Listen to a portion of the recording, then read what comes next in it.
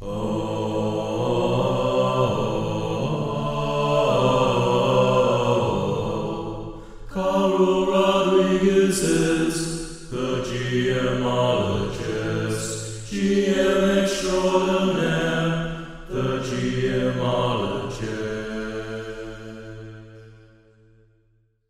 morning, everyone, and welcome to the GMologist Presents. Hope you're having a great day. So, today, what are we going to talk about? Well, first off, we have a call in from GM Shadow of a Song of Dice and Shadow podcast. And he talks about the box sets and the box set uh, podcast that I put out last week. It actually was cool. It kind of generated some interesting conversation on a couple of discords. So I was pretty happy about that. Um, I might look at some of the highlights there and then kind of talk about a little bit after we hear Barry's comment, talk a little bit about some of the cool starter sets. Well, not box sets, but starter sets that uh, Chaosium has been putting out. And those include the RuneQuest box set, the Pendragon box set, and the Call of Cthulhu starter set as well. So I'll probably just focus on the Pendragon starter set and tell you because they all have the same format. Um, so I'll talk a little bit about that one, and then I'll dive into the main topic of the show, which is kind of my ongoing game update. So the games that I've been playing for quite a while that are more or less campaign in nature. What's going on with them? How are they become sustainable? Are they at working, and when do I plan to end them?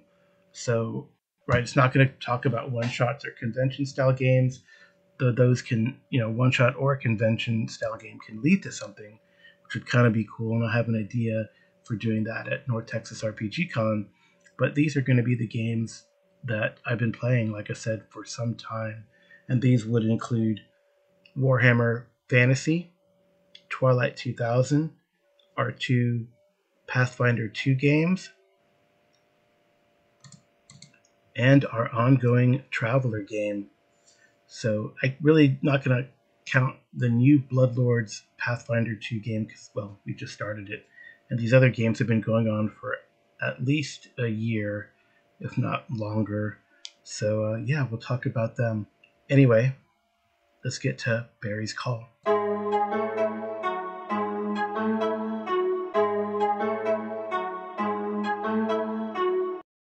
Hi, Carl. It's Barry here again from A Song of Dice and Shadows. Uh, just listened to your most recent episode about starter sets, and to answer the question in the title, I do like starter sets. Um, didn't think I did, but I've used a few recently and discovered I do quite enjoy um, them. I know so much about maybe the recent D and D ones, but certainly my older D and D one that I've got the black box, and I'm really keen to get my hands on some free league starter sets as well because you know with looking at some of the ones in some of the free league games look pretty cool. Actually, it'd be quite good to get it.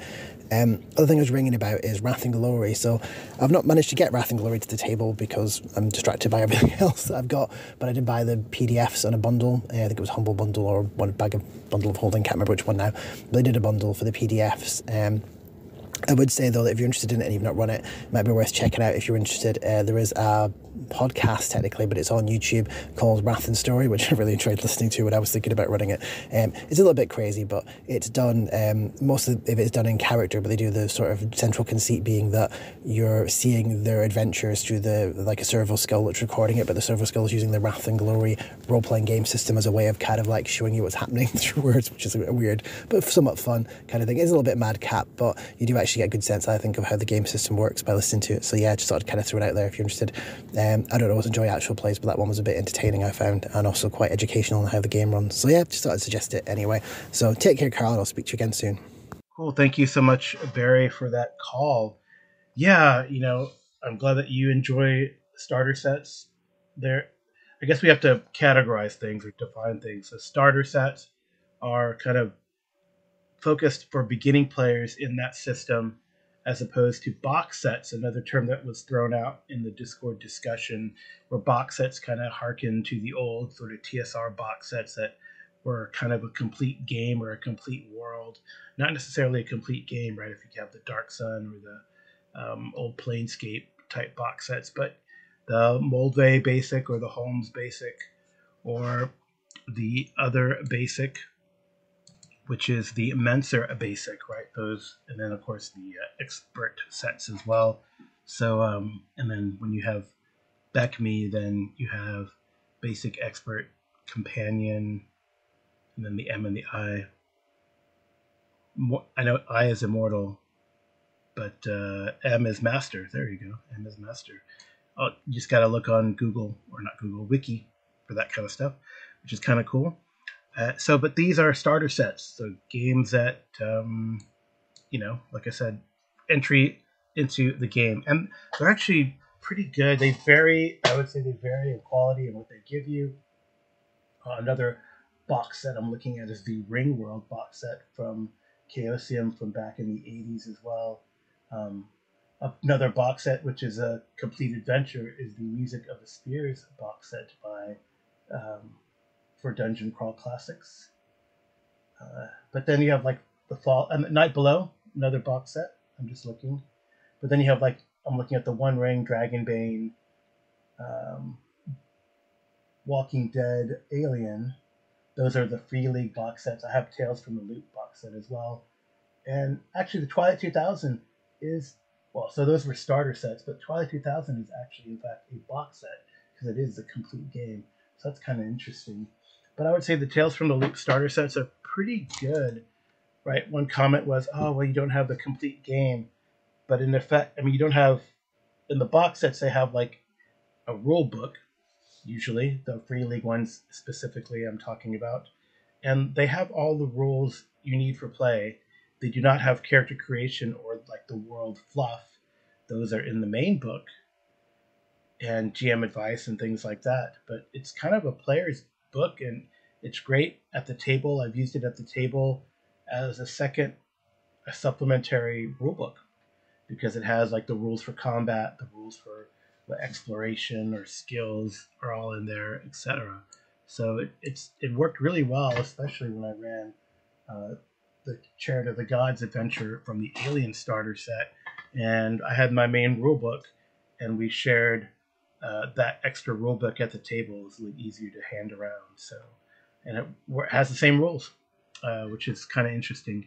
Again, no character creation or world lore, but you don't really need those at the table, right? So, all right, well, let's check out one. It, like I said, one of these Chaosium starter sets. Okay, first off, the Pendragon starter set is a beautiful book. It's got Greg Stafford's name on it. It has a Pendragon logo, uh, the gold crown on the blue field, the Pendragon script. And it has a really interesting, a cool picture on the cover. Hopefully, I can find out who did the cover of the box set. So it looks like the cover art is by Andre Festov, who apparently is given credit for the cover arts of all the other three books that are in here. So what's in the box? They actually give you like a one-page handout for what's in the box. Three books, Book 1, The Adventure of the Sword and Stone, Book 2, The Fabled Realm, and Book 3, The Sword Campaign. They have four appendices, additional rule settings introduced as you play, pre generated characters, so eight player knights, each newly knighted and ready for adventure, battle cards, 18 cards detailing encounters and opportunities for player knights to face in battle, and dice. They have a set of dice, a d20, and six d6s that you would need. So that's kind of a nice little feature that they have, like that's in the box. So let's look at these books. Book one, The Adventure of the Sword in the Stone. And what it's kind of neat, and I think what sets apart these Chaosium box sets is that they have a solo quest specifically designed to teach the rules of the game and introduce the legendary world of Pendragon.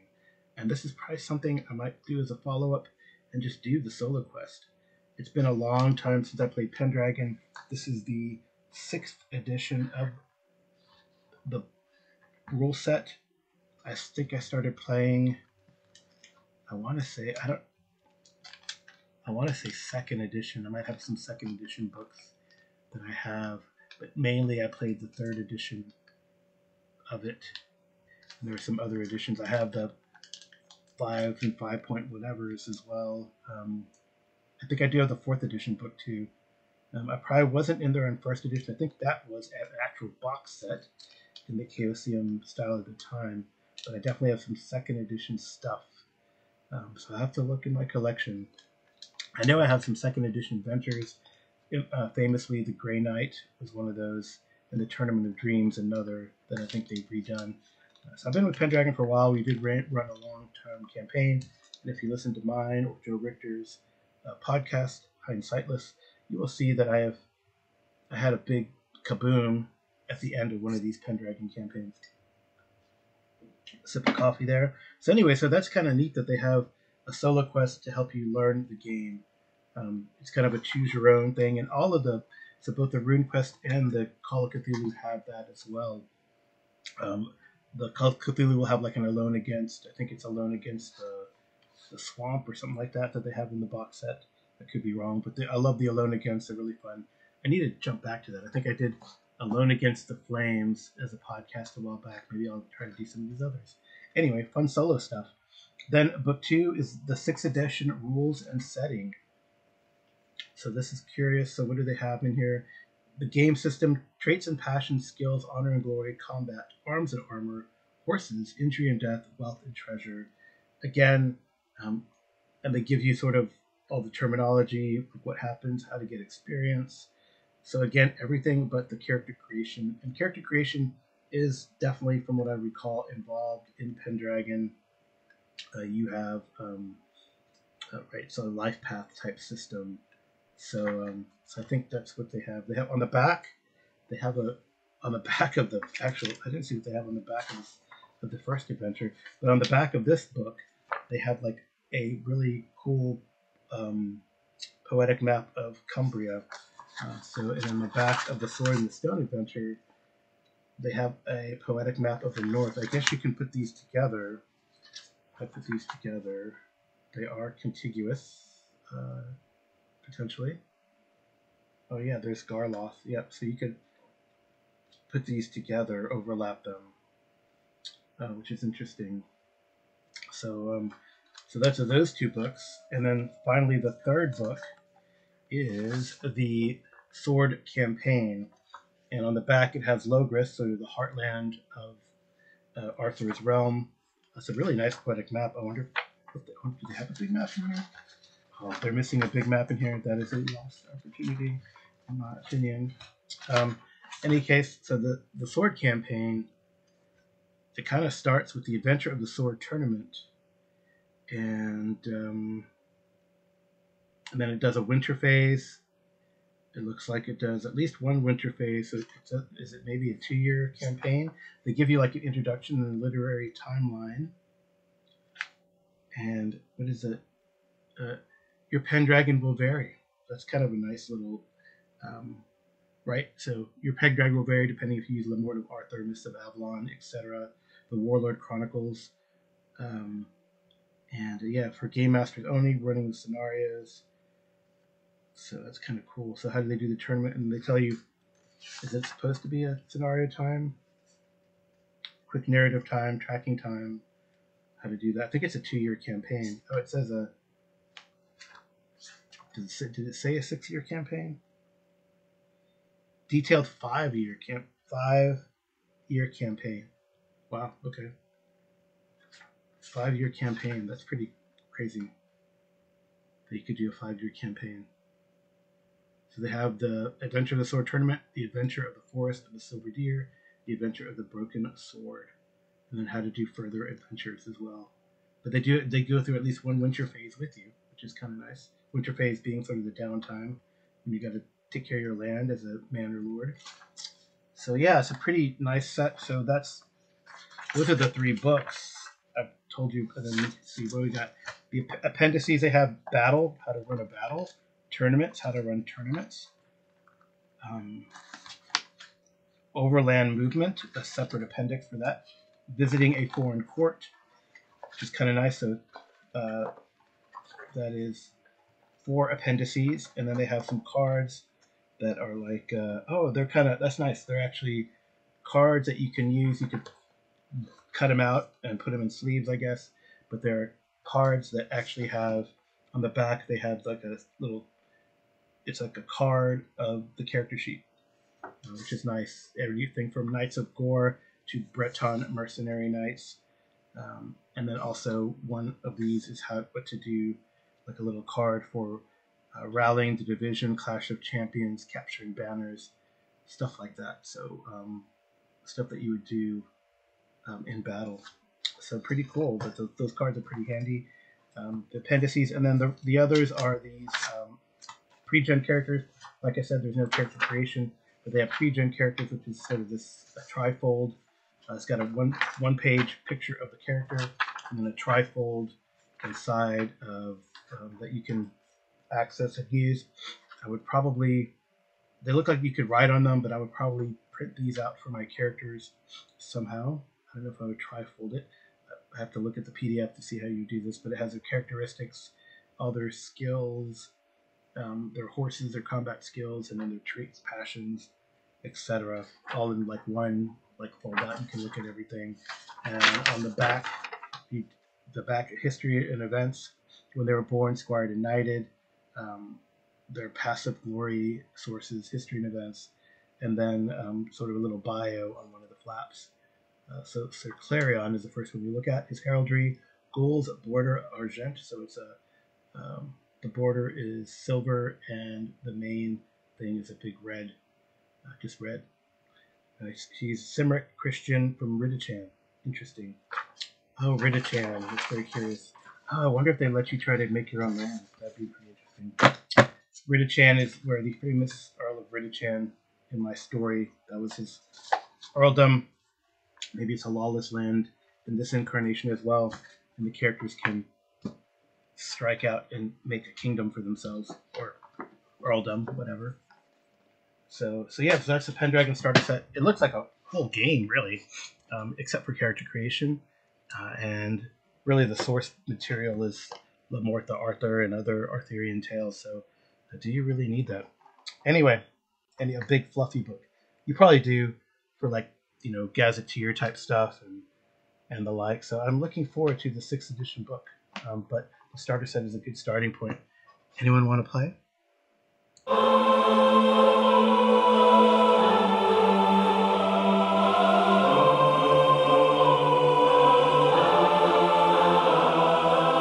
All right. I usually don't talk about myself in this podcast. I'm pretty private. Some of you know my situation and are really good friends. It's been a tough year for me. I was uh, let go from my previous company after being there for about a year. And before that, I was furloughed during COVID. I didn't make the cut. They were dropping a lot of people at the university. Uh, interestingly, I still have an adjunct professorship at the university, so I can go there and, uh, in theory, teach classes, work in a lab, volunteer in a lab, use the library facilities, go to seminars, but they don't get I don't get paid. I'd have to figure out my own funding source, but you really can't apply for grants as an adjunct professor. So I'd have to hook up with a professor there to um, work in their lab and generate some data and do that. So and I hadn't because I honestly I only learn now how many what kind of privileges I've had through happenstance um, and something that really almost you know really upset me a few weeks ago. Um, what happened? Uh, someone had falsely I'd applied for a job. I'd gotten the interview, gone well. Um, it had um, I'd gotten a letter to report to a job, did some background check stuff, and during the course of it, um, I guess the client of is a, a, government contract job. The client um, for the recruiter said, "No, we don't we don't like you," and the reason they gave was a performance and eth- or ethical behavior. And I'm like, "What?" So I kind of probed further, and and the recruiter, although they've since backtracked, um, said, "Oh well, someone said that I did something unethical," and that kind of pissed me off because I never have, never falsified data. But someone saying that is kind of a stain on your reputation, and you know we're working to try to resolve that, get the actual background report, see what it says, and see if we need to take any other steps. But uh, when I called, well, they and it got escalated, so I called the university, and there's nothing in my file, and it was it was so, so they were flabbergasted. Needless to say, it was escalated to my old department and then to the vice president of faculty affairs, who gave me a call and said, "No, you were actually never terminated. It's just a business decision. Uh, you still have privileges at the university, etc." So that was good, and I, you know, you when something like that happens, you're like, at least for me, I got paranoid and like everyone not to get me type of almost victim, well, victim mentality, and it was not the case. So that is a good thing, and in the future, I probably plan to be more engaged at the university, uh, which is kind of nice. But in a way, this was a blessing in disguise because I did, you know, I had another prospect, and then I was thinking, okay, well, what I might have to make a choice here, but the choice in a way was made for me. So now I work with a Fortune 500 company, which I've never done before. I feel like I've always w- worked for Bush League or minor league uh, institutions. Um, as much as I love the university, well, they're not they're not a tier one institution. I mean, sure they get a lot of grant money, but it's not like they're Harvard or you know Southwestern in Dallas or Houston or medical medical school in Houston. So or University of Texas, Texas A&M. They're not like that. In any case, and then the other company was really Bush League. But you know, I'm working with a Fortune 500 company. I'm working. Uh, it's going to be totally different what I do um, from what I've done before. Not science, but um, something that can actually really, I believe, strongly help people. More financial services, and I'm working on going back to school and getting licenses and all that kind of stuff. So so yeah, I'm pretty excited. Um, it's been a challenge for sure. You probably don't want to hear that. You want to hear about gaming, but uh, kind of some of you are really my friends, so why not? Why not share? Um, in any case, I think things are getting better, and I'm not as down in the dumps. You may see me as testy and a little angry and short fuse um, and volatile, and I apologize but um, but maybe like I said, things are on the up, and gaming has helped. Uh, gaming has really sustained sustained me because I'm good at it.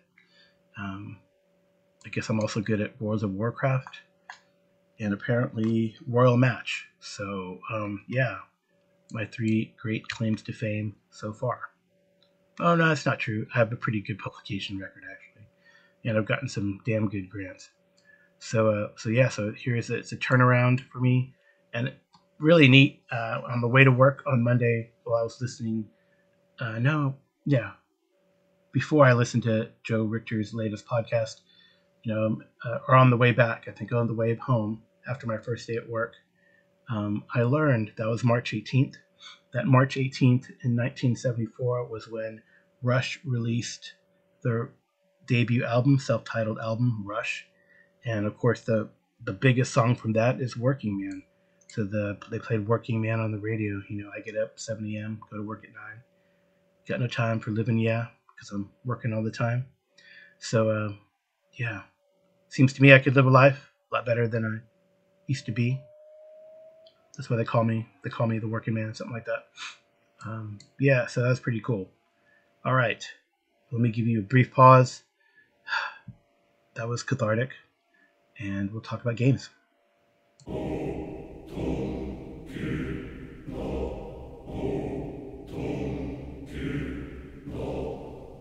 as a preface to this, I don't know if I'll come to any profound conclusions, but just off the bat and off the top of my head, I think, you know, why are these games sustainable, or, or why have these games gone on for so long?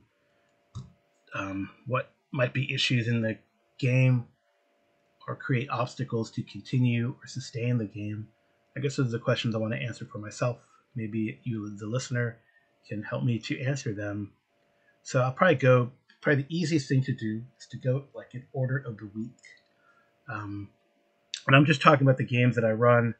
All right, another game that has been sustainable for a long time has been the Reaver game that I play with Joe Salvador, and we're playtesting his Reaver system, which should be out in a Kickstarter near you uh, this spring. So that's been sustainable too, and I think that's driven mainly by the need to playtest the game, go through various iterations Joe's a great world builder, fantastic GM. I'm very particular about my GMs. There are only a few that I would is it trust? I don't know. I do have trust and control issues, as you might know if you played with me. uh, but um, not as a GM usually. Actually, I'm pretty pro player and player forward as a GM, but as a player, I don't know. I don't like to lose. Maybe that's the main thing. I don't like to lose. So um, so yeah, so you know, it's really fun. Reaver's been awesome. Joe's great. Um, I totally trust him as a GM. So uh, there are a few of you out there. I'm not going to name everyone because I'll probably miss someone that I love and I played in your games and I really enjoy them. Um, and that's why I play in your games because you know I trust you as a GM. Um, so, all right. Maybe I'm sharing too much, but anyway. So Traveller, Traveller is the first game I run. Been running that for over a year. I've actually we started last January, January 2023, and it's gone really well. I do like Traveller, and we're in the middle of a murder mystery. It's definitely had been hit recently. Like I said, I've been up and down um, emotionally, so I, you know, and things happen when you're like that, so such that games get canceled, scheduling, right, especially during the holidays, gets difficult but it's been pretty good and consistent. And what I appreciate the most is a player engagement. Uh, we have players who like to do the trade. We have another player who likes to design the ships, um, and then another player who really gets into the role playing an aspect, or maybe more than one of those. We have three players right now. Uh, there is a able and willing crew, sort of a stable of NPCs that someone could take on as a PC if they so chose to join us. Mondays at seven central but you could make your own player because it's fun to make a player and Traveller, and then you could join us after the murder mystery and some other things. On using, I'm doing running through action aboard the King Richard as a classic FASA adventure, and uh, after that, I'm gonna do something kind of cool. One of the players has really wanted to get into sort of the lore of the ancients, so we probably will run um, a campaign. Right now, we've been just kind of just jumping from adventure to adventure. Sometimes it's an actual published adventure or rehash of an earlier adventure from the classic Traveller days, uh, like this particular one. But they're strung together in no particular order, and there's been a, some. I think sometimes you get to a world and shit happens. So um, adventures are kind of come from that, and a couple of those have led to. I think there's going to be a change in the sort of tone of the campaign because the, the players actually have earned uh, the right to become knighted uh, through their actions. So it should be pretty neat that, you know, right now they're like, feel like they're probably fish out of water um, as they're on this luxury liner with a lot of really rich people. And they're, they're good. They're wealthy. They're not, you know, behind in their mortgage. They got some money coming in. They're trying to improve that and then becoming nobility can really uh, really improve that. So you don't have to worry about how you're going to get uh, the mortgage for your ship, the ne- your next paycheck, uh, etc. How you're going to pay the mortgage for your ship and get the next paycheck. That's what I had to say. So uh, so yeah, so I think it's it's really good. It's definitely viable. I hope to be playing for years to come because it's, it's just an ongoing thing. And I know I might pause or do time jumps uh, depending on what I want to do at one of my favorite eras. Right now we're kind of 1105. I don't. I think we're like, even though it's been a year of play, a year and a few months of play, I think we're maybe just hitting halfway with 1105. Maybe not even that. I don't know. It's been a it's been a uh, good quote unquote year for these folks um, in their 1105 third imperial year, third imperium imperial year, and um, we'll see where it goes from there. Um, my favorite era um, in the official Traveller universe is kind of the Rebellion era, or Second Civil War, more ap- should more accurate actually, which starts about ten years from now, 1105. So um, I don't know if I'll time jump it. I don't know what I'll do with that. Um, mega Traveller is kind of my nostalgia when it comes to Traveller. I always loved the skill test system that they developed but I do like Mongoose Traveller a lot. Uh, the combat is a lot slicker than in previous editions. Uh, the Mega Traveller combat was weird uh, in some places, especially ship to ship combat. Um, but then maybe again, maybe I just wasn't. I should reread it and see if there's nuances that I missed. Being you know in my 20s or so when I first played it. So yeah, so it's Traveller. It's done really well. The next game I'm going to talk about is Twilight 2000. That's our sort of cheese day every other, and it's gone for almost two years. Wait, is it two years? I think it might be. Me trying to figure this out. I think it was. Yeah, it'll be almost two years, um, which is pretty, pretty cool. I yeah, almost two years, I believe, in July, because I ran like the first time on my birthday, and we've done really. If it's three years, I don't know. Maybe I'm crazy. Yeah, I guess I can't find where it says when this game started, it's at least two years old. And I think the main reason it's continued is because my wife Amy plays with me in the game, or is one of the characters in the game, and she really likes the game. So I think there's a common theme here. It's that the players are engaged and like the game, then the game will be sustained. Maybe that's sort of self-evident, um, but yeah, we're it's really cool too. I, I do enjoy it. Um, I know if you talk with Amy, she probably talks about Twilight 2000 a lot and brings it up a lot. Um, but uh, you know, she enjoys the game, which I think is very neat. Um, we have currently we've had like a rotating cast of players, uh, but right now we have uh, four players, which I think is a, a good uh, number. They have a main, and they also run. I mean, they have a platoon-sized group. Maybe it's even a company size group. I think it's a company size group by now. Um, so, uh, so yeah, they're applying in central Poland, um, doing, I guess, domain level stuff. So we would, we played through we played we started the Battle of Kalisz, um, sort of the classic uh, you're on your own uh, scenario, and then they made their way to Krakow, and we've been able to do sort of the tetralogy of Free City of Krakow, Pirates of the Vistula, Black Madonna, and we're about to conclude the Ruins of Warsaw. Um, yeah, it's it's been really good. We will I will probably have like a time gap. I don't know. There's a we I did a scenario that I kind of was inspired by the Black Madonna, especially the new iteration of the Black Madonna by Free League, and uh, it um,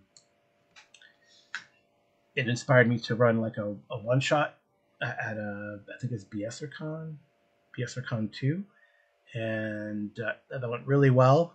But it kind of has informed a bit of the campaign. So I don't know if I'm going to have like a winter war between Krakow and Silesia or not. But I think uh, Amy wants to have her character and one of the NPCs try to mitigate or prevent that conflict. So I don't know if that'll be after or before the time jump or kind of as a montage during the time jump because I'd like to jump, you know, about six months ahead um, from, you know, when they finish this here in probably early October. They finish the ruins of Warsaw, get back to Krakow, and then time jump to the spring or so of uh, 2001 and then go from there. There might be a split in some of the group, um, and we might I don't know it'd be it'd be fine honestly to go to like weekly Twilight 2000. One week we do Europe, the other week we do US because the price I don't know if there's some players who want their characters to do so, but it's with the amount of people in the group, there are definitely probably some who want to see what happened in the US. Some of the US uh, soldiers that are there. There's a whole group of Marines now that probably want to go home, uh, led by a couple of NPCs who are former players. So they might want to go home too. So uh, so we'll see. Um, there's a whole series of going home. You could stay in Europe and kind of do your own thing. There's a lot of fan made through Free League um, stuff where you stay and do things in central Poland. But then there's also like a going back to Europe series that happens uh, later. Um, and and we probably just do it. But most of these adventures are not really like a linear adventure. It's like these are the bad guys in this area. This is what they want to do. Will you stop them? That's kind of the way that that goes. So I think that's a great. It's a really fun outline of an adventure, really, um, not a traditional adventure, and more of a sandbox. And these are this is kind of the hex crawl, and what are you going to run into? So I think that's a great uh, kind of a cool thing to do um, in a game like Twilight 2000. So that's going on. I don't foresee it um, ending unless Amy and I really get into an argument, a strong argument about the game, which we do argue about it, but uh, nothing that threatens the game itself. Oh, as an added note, you can follow along our adventures on our YouTube channel. So Amy is my producer in the YouTube channel, and we've had some cool, um, cool and popular, relatively speaking, uh, YouTube videos recently, uh, including the latest one. Can you have romance, or is there romance in the war, or something like that? So I think that's that's pretty neat. It's different. So um, next, uh, uh, Pathfinder. So we've been running two Pathfinder, Pathfinder Wednesdays, and I've been running Abomination Vaults and Kingmaker alternately. And we have uh, three players in Abomination Vaults, four players in Kingmaker. Um, it's only a difference of one player. Uh, player, if you're listening, um, well, anyway, we could use another player in Abomination Vaults. So maybe I think that player scheduling doesn't allow him to play in ABV. Uh, we also do it on Fantasy Grounds, which can sometimes be an issue, especially if you haven't played for a while. I'm not as savvy with Fantasy Grounds as I am with Roll Twenty. So um, uh, yeah, that's there's that issue. Um, I have played around with Foundry for Walking Dead, which has a neat Foundry, and I've played on Foundry. Um, the guys at BSRCon um, who are on BSRCon a lot like like Foundry. So I played on Foundry, and there's some neat modules uh, for Foundry, but I guess I'm comfortable with Roll Twenty. um, but Fantasy Grounds has some neat features, and especially now, man, you can adjust in the latest latest update. You can adjust the camera so you can see from the point of view of your token on the map, um, which is very interesting. You can finally ping. Um, so yeah, it's getting you know, it's got some features. The um, sort of the the automatedness of Fantasy Grounds is pretty cool too. So anyway, so we played uh, ABV on Fantasy Grounds, and we actually played last night. Got through a couple rooms, um, but I I don't know. I just think it's just hard. That Wednesday, for some reason, has suffered from a lot of misses, and I don't know what the deal is. Maybe I'm not as excited, and that could be a reason too. I'm not as excited with Pathfinder, um, but I do want to complete Abomination Vaults. I really do like it. Um, and just things come up on Wednesday. Maybe it's a hard day, uh, middle of the week. People got kind of tired from work. Um, then Kingmaker, we've actually finished the first book. If you kind of go back or think about the old Kingmaker and Pathfinder One, uh, Stolen Lands was the first book, and it concludes when you you beat this uh, bad guy named the Stag Lord, and and then after that start at the beginning of the second book, you start your domain, you start your your settlement, and you start building your kingdom. So we're in the kingdom phase, and I that I feel like the last couple or two sessions, not the last session. The last session was a nice exploration, a traditional way we've been running it, and um, but the two sessions before that were just really dragged to me. Maybe I was low energy, but um, the domain play, I it might be better to do it offline not in a game session, the kingdom turns and stuff like that. I'm not sure yet. Uh, I know that actually another person who runs a game, well, and on the Dungeon Musings channel, you, you learn, you might learn if you watch the Dungeon Musings Kingmaker stuff. They switched to Savage Pathfinder, um, and I guess he said the players weren't really into the domain play and kingdom building. Maybe that was a reason. I'm not sure. Uh, it'd be cool to talk to him about that, compare our Kingmaker notes, maybe have to get him on again. Um, it was really fun to do the murder mystery. So yeah, so um, so I don't know. Um, I do like Kingmaker. I'd love to finish these things, but I'm just I need to wrap my head around it. Maybe maybe prep a little more. Um, I've I've read these adventures, uh, read them, you know, read the adventure cover to cover, but maybe close to the time when they're there, go on, play with new features, especially on the fantasy grounds or in Kingmaker, kind of have a plan uh, for the players. Uh, I think that's a lot of it is like, what do you want to do? Because it's really open ended. It's just very much of a sandbox Kingmaker is. ABV is just a dungeon, straight dungeon crawl. Um, we go out of the dungeon and craft things, but go back in the dungeon try to solve the problem. So uh, so maybe with ABV, I did propose to start a little earlier, so maybe that'll help too. So it usually takes about a half an hour for us to get settled, um, talk about you know bullshit for about a half an hour, and then get into the game. So we can even be more focused. I think that will help as well. I save the best for last, I think, and the other game that is almost is it almost three years? Potentially, it's almost three years in, and we have been playing Warhammer Fantasy. This is our second.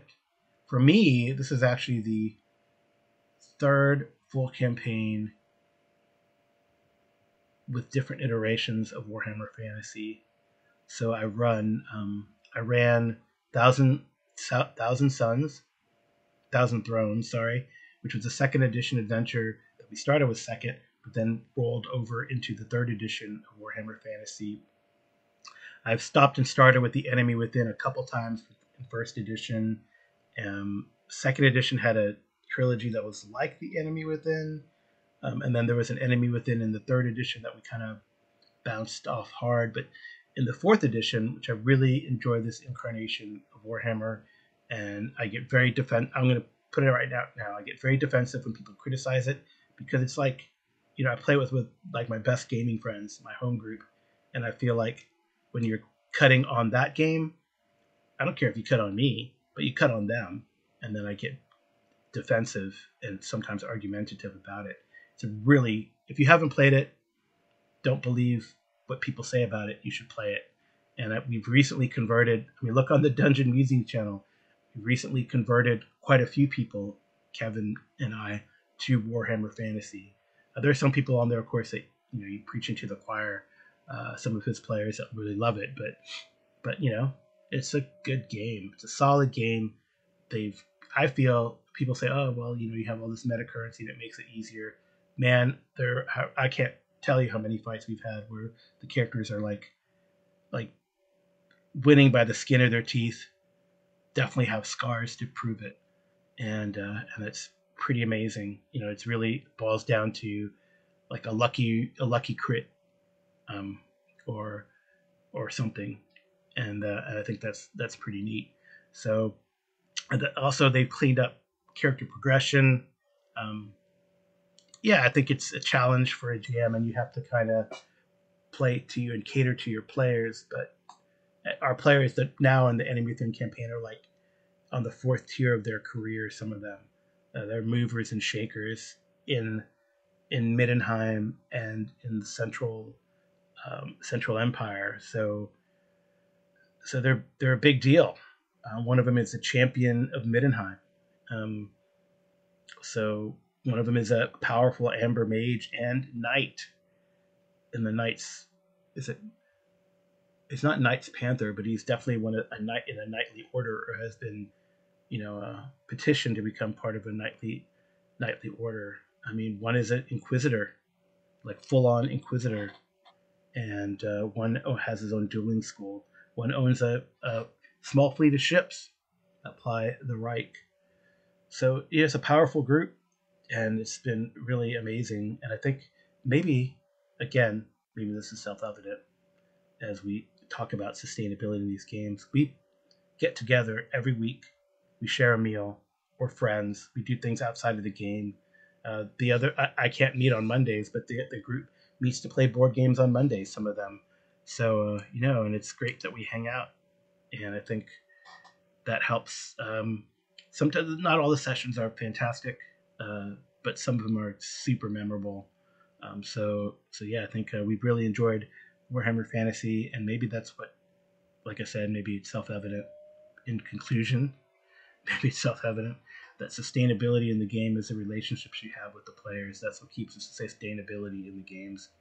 So, so saying that, uh, I hope to keep some of these games going with my friends who I play with and enjoying this hobby that we all share so much. So, well, one big diatribe, monologue, whatever you call it. Not a, not big rants. Just don't touch don't touch my Warhammer Fantasy, um, or my Traveller, or my Pathfinder, or my Twilight 2000.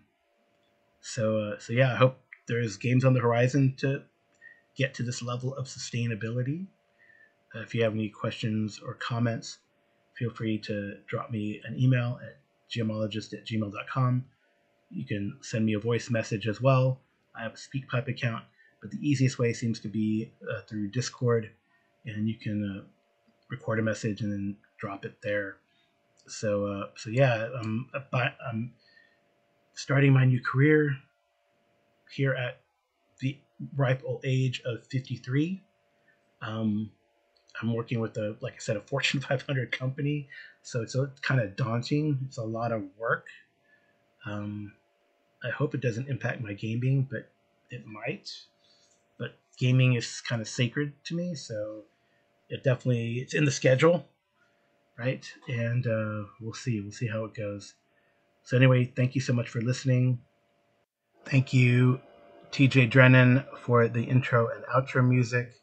The little incidental music is provided through Looperman, which you pay a um, subscription or get on as it has a free subscription, free loops and samples. Looperman Pro Audio resource and musicians community where you can get free samples. Um, and then if you like the full thing, you purchase the full thing. So anyway, it's a cool service that's provided.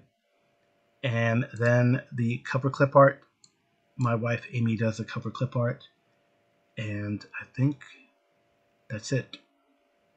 So good night and good rolling.